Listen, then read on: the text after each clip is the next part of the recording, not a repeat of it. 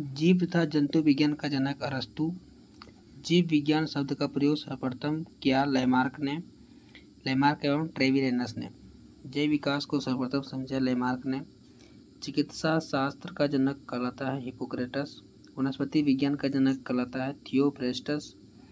रसायन विज्ञान का जनक लेवेजियर। मानव का विकास इतिहास परंपराओं से संबंधित विषय कहलाता है एंथ्रोपोलॉजी। गैसों के विसरण के नियम का प्रतिपादन ग्राहम ने किया। ग्रहों की गति के नियम का प्रतिपादन किया था जॉन स्केपलर ने। E equal to M C square समीकरण दिया था आइंस्टीन ने। जड़त्व के नियम की खोज की गैलीलियो ने। गुरुत्वाकर्षण के नियम के प्रतिपादक न्यूटन। प्राकृतिक वर्ण सिद्धांत के प्रतिपादक डार्विन। उत्परिवर्तन का सिद्धांत दिया ह्यूगो डी ब्रिज ने। नेचुरल सिलेक्शन का सिद्धांत दिया था डार्विन ने। विकास के सिद्धांत के प्रतिपादक चार्ल्स डार्विन, अनुवांशिकी के जनक है ग्रेगरी जॉन मेंडल। मेंडल ने अपने प्रयोग के लिए चयन किया था मटर के पौधे का।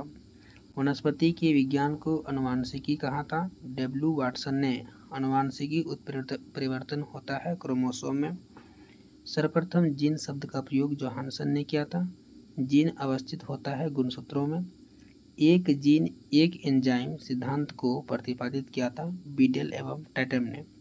खून का रंग लाल है, हीमोग्लोबिन के कारण होता है। हीमोग्लोबिन में पाया जाता है लोहा।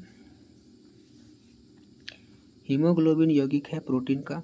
खून थक्का नहीं जमता हीमोफीलिया रोग में। हीमोफीलिया रोग में खून थक्का नहीं जमता है। शरीर के अंदर रक्त को जमने से रोकता है हिपेरिन नामक प्रोटीन। हिपेरिन नामक प्रोटीन का उत्पादन होता है यकृत द्वारा। रक्त का अध्ययन कहलाता है हेमेटोलॉजी। रक्त के थक्का बढ़ने में सहायक होता है प्लेटलेट्स। प्लेटलेट्स की मृत्यु होती है प्लीहा में। रक्त का थक्का जमने में सहायक है विटामिन के। रुधिर का तरल भाग होता है प्लाज्मा। रक्त का कितना परसेंट भाग प्लाज्मा होता है? Sixty percent. पदार्थ की चतुर्थ अवस्था है प्लाज्मा। रक्त में पाई जाने वाली धातु लोहा कहलाती है। ब्लड बैंक कहलाता है प्लीहा को। आरबीसी का कब्रगा कहलाता है प्लीहा।